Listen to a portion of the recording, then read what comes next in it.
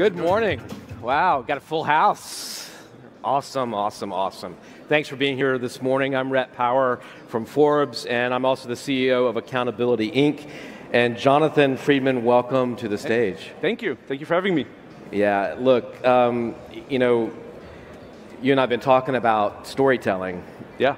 And um, I wanted to really start off with um, how does storytelling fit into a, a go-to-market strategy? And I, I know you're going to talk a little bit about what storytelling really means. Right. Yeah, so that's a good question. A lot of time people say the word story, but they keep it a little bit abstract. So let's try to bring it down. Mm-hmm. Uh, so let's start breaking down go-to-market. What does go-to-market mean? Well, you, there's a market out there. There's usually people with a pain that you think you can solve if, if you're a seller and they're going about their, their day. They're not waiting for you to come, right? They, uh, they will be, they're there before you, they'll be there after you. So it's your job to go and find them. And they're in different water holes, either digitally or physically, so you need to find them and get them. But then there's the go there. So even if you find them where they are, um, I would argue that you still need to get into their brains, right? And, right. and you need to pierce it. And the thing is, most humans developed a veil of indifference that protects them just to be, just to be able to exist in the modern city. There's so right. many things coming at you, you have to um, be able to filter most of it out.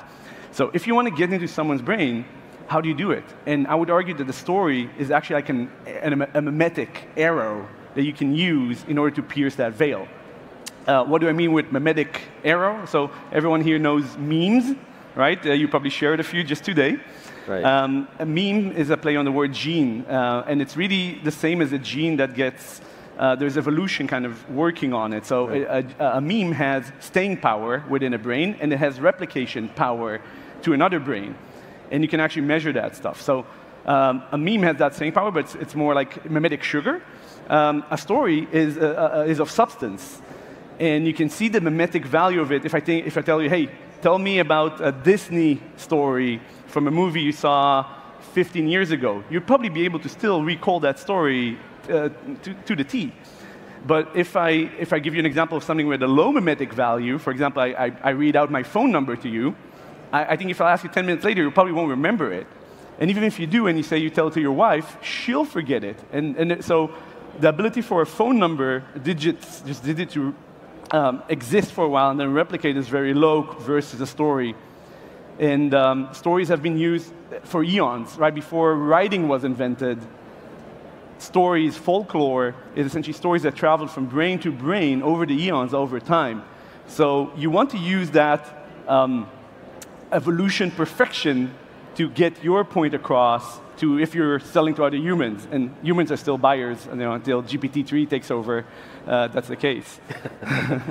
so you know, then why do we screw it up so often? Like when we build a product, uh, why is showcasing a product really so complex? Why, why, why do we spend so much time on the product itself and then and really often fail at telling the story? Right. So I think I think my main message with this is saying, hey, you're not alone. Uh, the best storytellers, Steve Jobs and, and Bill Gates and, and, and Elon Musk, right? They had embarrassing demos that failed on stage bigger than this. And they're amazing storytellers, the best of the generation. Um, and it's, it's, I'm, I'm, I'm, a product guy, so I celebrate products. I love products. And the ability, the, the, the fact that you can't showcase them easily and it fails, it hurts me. But I'll say there are three main reasons why showcasing products is, is, is tough. One, what do, you, what do you mean by showcasing? Showcasing is, means uh, bringing people into that world, explaining okay. what a software piece actually does and what it can mean for them. Okay. So that's showcasing to me. And, and it's rough because of three main reasons. First of all, software is just complex, right? You're talking hundreds of screens, if not thousands of screens. And it usually tries to bottle up a certain business process. So it's abstract. It's not like um, going to a, um, a, clothing shop and buying a shirt. A, sh a, shirt is visceral. You can touch it, feel it, see it, uh, put it on your body, and kind of take it in. It does one thing. Software is usually complex, so it's already a complex beast and it's abstract. So that's, that's one. Two, uh, products are protected from the outside world. They have security walls around them. You provision users, and the, the data inside is precious. Um, so you can't just like open it up. Uh, if you think about it, a, a, product that's fully open is actually a website. So most products are locked, and those walls are great for security, not good for showcasing. And number three is that products are built for a user in mind. So you're trying to kind of take away degrees of freedom to make sure the user uses the product correctly in a certain point in time. But when you're showcasing, that actually works against you because you're trying to give a bird's eye view of what a product could mean, and you're trying to sometimes accelerate time to show what it could get to, not the first day when you're setting everything up, but what could it look like in a year for you in terms of value. So right. all these three things, uh, products are built for that. And uh, you guys, as storytellers, as people that want to showcase, um, it's, it's a hard time, and there weren't any tools to do that really until now. So there's a reason it fails, and the best of the best fail. And it's not because they're not good enough, it's just because it's very, very hard. What is, how do you build bridges? How, and why is it important to build bridges between buyers and sellers? So you start with a good story. And a good story is, first of all, it has to be authentic. It has to be authentic, uh, asking yourself, hey, why am I doing what I'm doing? Hopefully, each one of you has a good reason to wake up in the morning and you believe in what you're doing. So once you have that authenticity, you have that North Star, um, you, uh, you, can, you need to uh, standardize it and you need to scale that story up. And stories, if, they, if done right, they evoke emotions. So they don't only have mimetic value, meaning they can stay in people's mind and travel between people's mind. They also evoke emotions and show that you're a human, that you understand. And people see that in other people and they connect. So not only the, the retention, but also the humanistic part comes out of it. And if you do it right, it essentially helps uh, build that bridge between the two. So how can um, how do we how do we get better at telling these stories? Like, um, is there a way to test whether a story works well uh, before you sort of go to market with it? I know we test our beta test our products all the time, right? But how do we test our stories? How can we do that better? Well, I truly believe a good story needs to be authentic, first of all. Especially in this day and age, there's so much content out there. People are drawn to authenticity. So find your North Star. And if you're struggling to find it, take, I know, take a retreat, go, go deep. It's, it's usually within you first. Once you have it within you, make sure you scale it, right? Even if you have the most amazing, authentic story, you still need to be able to tell a lot of people within your company, you need to, you need to be able to scale it and get to a lot of people at some kind of scale. Uh, so that's, that's, a, that's the second part. Um, and then I would argue you need substance uh, to tell a good story. Mm-hmm. Um, there are things like I, I talked about memes, but for example, if I say the word sex right now on stage, I get a lot of attention. People looking at what, what is he saying? But if I don't explain why I said this and I have substance behind it, that's not a story, that's a gimmick. And you can get away with a gimmick or two, that's fine, but over time you need to build substance within your story and make sure that you're telling, that you're giving people more than just mimetic sugar, you actually give them something that's nutritious, that helps them and is of value to them. So that's very important. Yeah. Well, so in terms of sales leaders, um, for the, for the sales people out there, uh, it, how do you can it seems to me like that's a really useful tool in sales, being able to tell the story really well. How can we do better at that? How can sales leaders train their sales teams to be better at telling the story? A very good question. So think about stories as you know they're, they're timeless. They have a, they have a plot, they have an arc, they have a hero, right? So think in those terms. And for example, the, the main thing I see where people go wrong is they talk about our product, my thing right? Your, your prospect is the hero of the story. You're the storyteller, and you're building a stage for them that's, that's, that's, that's very compelling, but you need to put yeah. them in, in the center. Um, I argue that uh, I have a saying that, you know, that, that the best demos are, it's like a, looking in the mirror. That means that you can reflect your prospect, your prospect's image within your product. That's your job as a seller. It means you need to do two things. One is know thy buyer, understand them, and you need a lot of empathy for that. So understand them well and understand what, that, what they're looking, and not what they look like today, what they would want to look like. What, what is their best image, right? And then take that and paint it within your product. So know thy product is the second piece. And if you can then, you're the bridge connecting thy product to your, your prospect and then make them see themselves in the best light within your product. And that was very hard to do. We talked about the complexity of products. With, with modern uh, demo tools, you can actually do that. You can tell a story, and you're not confined by all these technical limitations you had in the past. And, um, and now you can do that on scale as well. Yeah, I think we often fail, particularly in the sales side, with when we, when we put ourselves at the center of that story and not our customer, right? And I think that's a really important point, a good takeaway, I think. Um, talk a little bit about storytelling in terms of a PLG strategy. Right, so PLG is, is all the rage um, and still not super well defined, but I would say PLG, um, product-led growth, right? It's um, essentially you're doing, you're taking away that help you can get from a human telling the story. Yeah. And salespeople are good storytellers. I mean, you, you select for that, right? So you take people that are naturally good.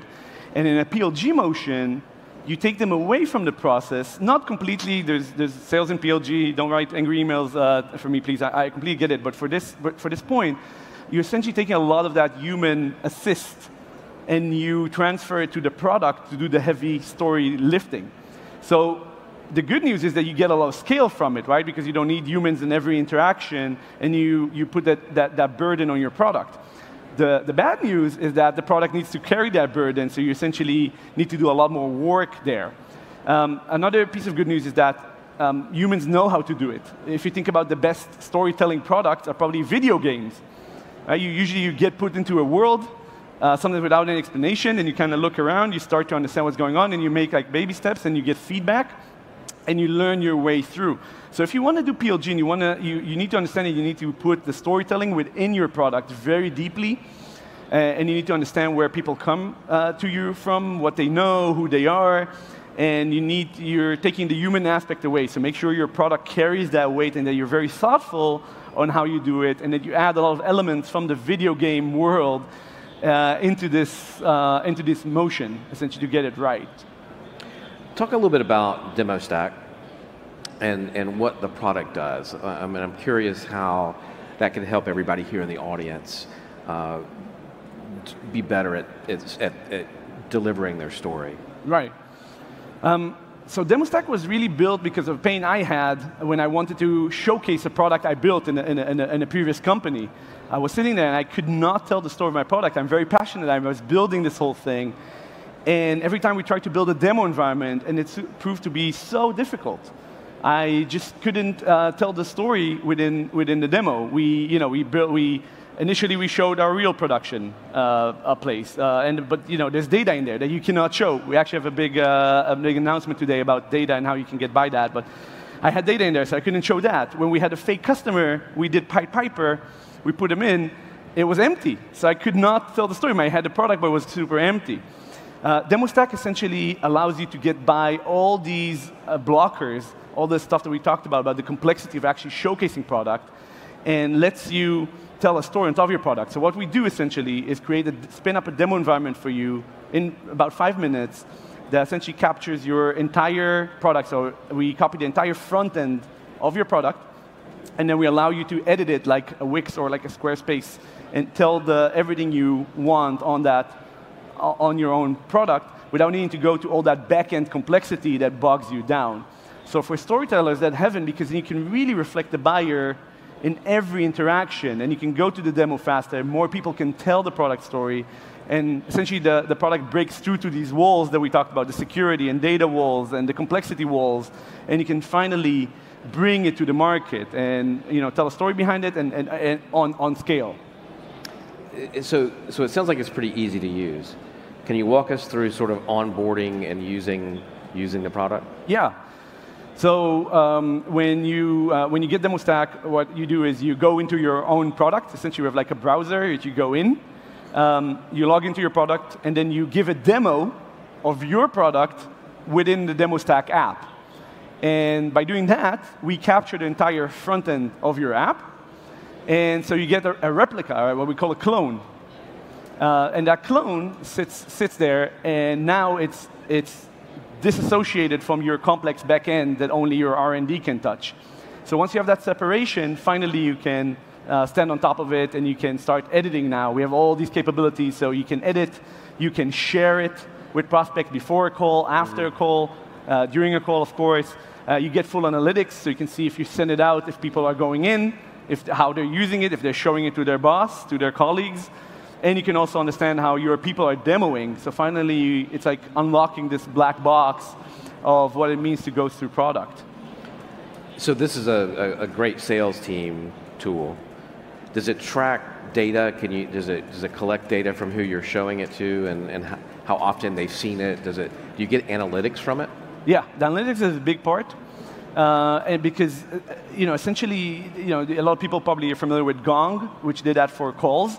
So you used to have all these calls, and you kind of don't know what you're, what you're talking about, and you have to write extensive notes.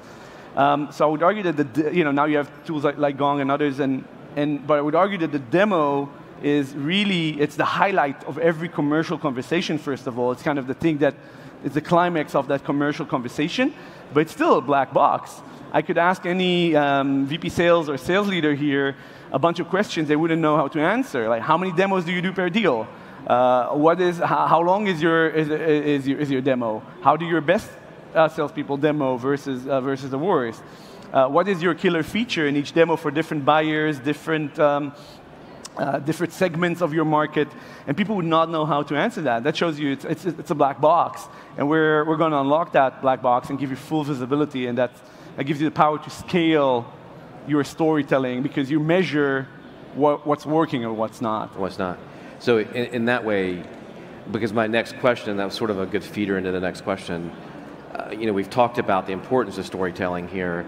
How does the how does the platform help us get better at that? Uh, and, and, you just kind of answered it, but is, can you go deeper into that? Yeah. So first, it helps you standardize your demo. So if you have a sales engineer leader or VP sales or anyone who kind of understands, like, okay, what is this company about? What are we trying to do? Uh, they can then bottle up a demo, standardize it. And so when you come, if you're a seller joining that company, first you have a demo that's ready, that's tested, and you can go to, that's ready for you, doesn't have all these technical limitations out there. So already you're well equipped. Right? We talked about before how showcasing was like, hey, just show the product. What's the problem? You, you built it, so just show it to me.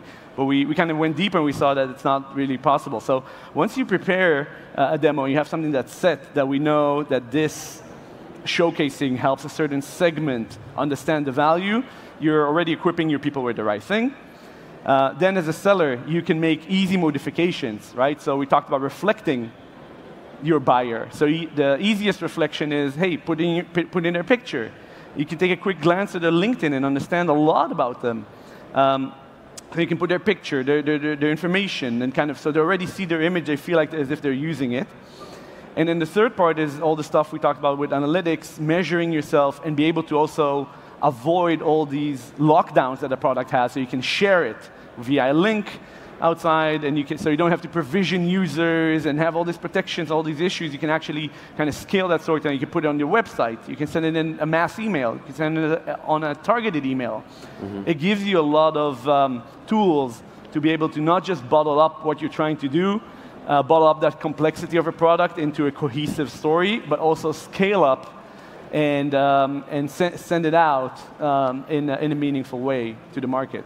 And it seems like it, what, what I like about that is it seems like it, you really do get some feedback on what's working when, when what's not in that story, and I think that's really important.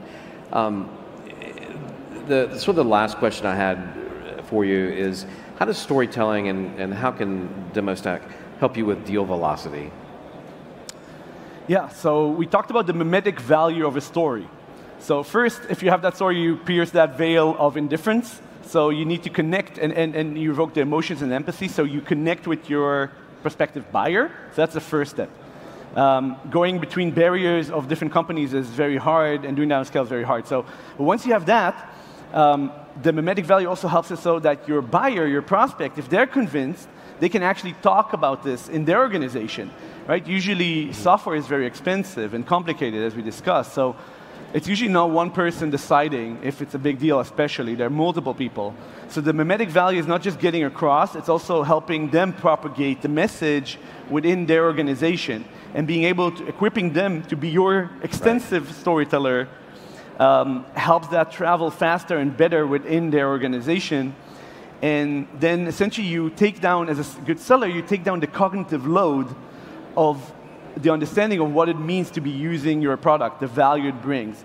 So if you do that, the cognitive load is, low, is, is lowered, uh, buyers get it faster, they can communicate it internally faster, and essentially the buying decision comes, can come faster because you're not running into all these issue, issues and barriers and, and, and you just have something that flows between all the brains of the people that are the decision makers. Um, so of course that accelerates deal velocity, and th that's just talking about uh, regular calls. Now if you take this and you and finally put the product, kind of turn it inside out. Instead of having the walls guard the product, you can showcase the product outside of the walls. You can put it on your website in a certain way. So you can put that replica, the clone, on the website, and more people can interact with it without any danger because it's not the real thing, it's, it's a clone. Uh, they can already interact with it on their own. So suddenly you can create all these self-serve um, experiences where people can educate themselves, experience your product before they even talk to you. So that gives you an additional scale um, so, you, and, and, and the last piece is that doing this, you can just train everyone in your company to be a storyteller. Obviously, sales are the main suspect. They, they do that for a living. But marketing obviously tells stories, just in different mediums. You have partners. How do you educate your partners to tell the story of your company and to be able to sell it? Um, you know, product, they need to tell internal stories. They build something, they discover it, it's, it's a big process, and how do they communicate that to the broader company? I would even argue HR needs to tell stories to candidates. Right. Why would you join a company that you don't know how their product looks like? It's the heart and soul of every company. So you can even equip them to tell it, and of course the CEO and the execs tell stories on stages or to investors or on TV. Uh, so everyone can be a storyteller if they're well equipped and if it's done right, and that's, that's the power of this thing. So I didn't tell you the truth. I have one more question. okay. All right. So in one minute, we have one minute left. Um, what is, what's one thing you want to leave to the audience? What's that? What's one thing you want to leave to the audience? One, one thing that they can take away? Be, be true to yourself. Uh, I think that's the best fuel you have. Authenticity is valued. Um, storytelling and all the stuff I talked about, having gimmicks and memes can be manipulated, right? And it helps. You want to get attention of people. But when you get attention, attention is so precious. Consciousness is, and, and, and, attention that, that, that is a part of it, it's so precious. If you get people's attention, use it right, use it ethically, and give them substance. Um, so sugar is okay, but a, a, little bit of that. You can't survive on sugar. So have substance, have authenticity, and when you tell a, a story, be real about it, and use attention sparsely and well. Jonathan?